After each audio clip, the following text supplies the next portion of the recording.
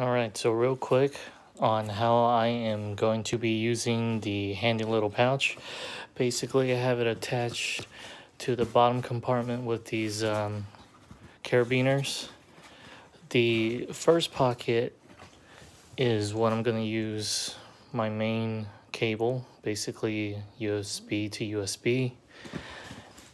And where's this zipper? Okay, so after I do that, I have basically all my cables in the webbing, and then I have my um, basically like USB, USB-C charging hub here.